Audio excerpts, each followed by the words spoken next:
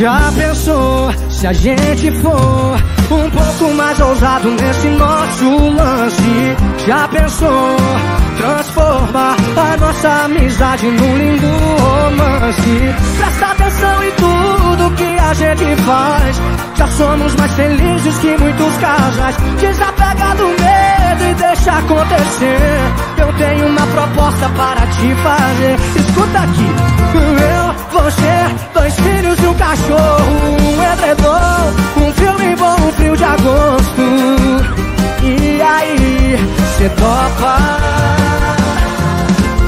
Eu vou ser dois filhos de um cachorro.